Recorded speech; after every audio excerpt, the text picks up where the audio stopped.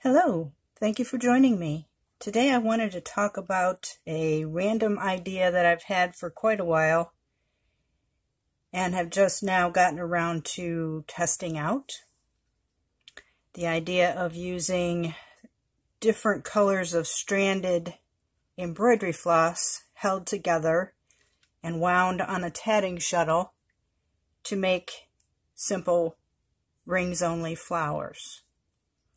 In a previous video, we talked about using variegated thread to make the rings only flowers or one ring only flowers and the variegated thread making the different flowers stand out. Excuse me. If you don't have a lot of variegated thread or don't want to purchase anymore, but you do have a lot of stranded floss or just some remnants left over and you want to try something a little new, I have a lot of old floss that I have been given or purchased or inherited and I will never use it all. So I thought this would be a way to make variegated thread and also use up supplies so I don't have to buy more.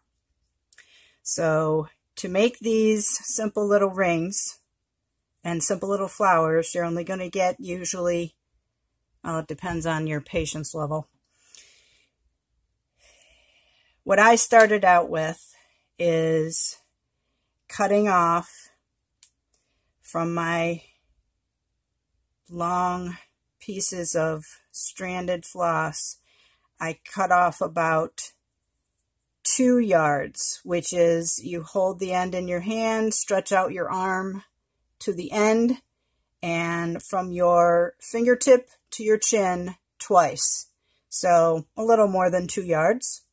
Cut that off and then separate the ends into single plies.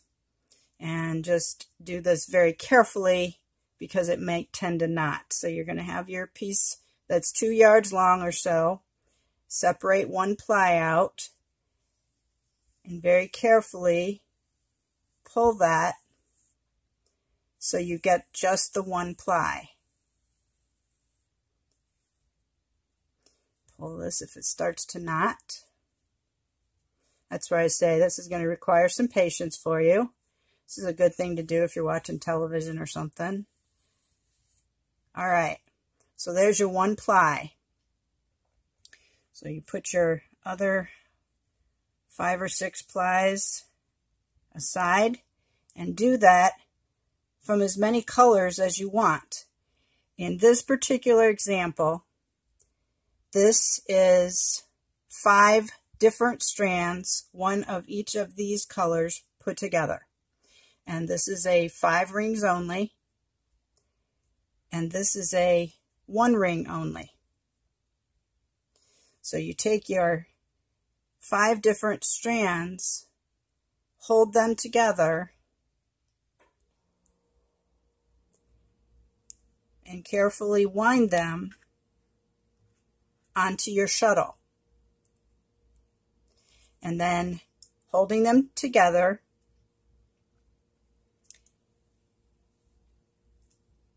and slowly making your rings attach your flower. And you, depending on how much you cut off, you only have a, a, a, little bit left. You can leave a tail on there if you're going to sew it onto something. Leave your tail on there to sew it on or tie your ends together securely and cut your ends off. This particular example was a, this is a hand painted six strand floss that I did not separate and just made a little flower. Just as a little example.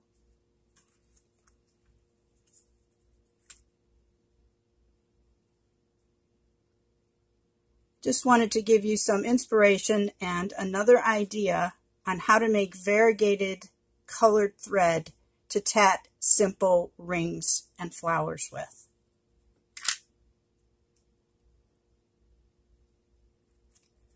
Keep practicing. Thank you for watching.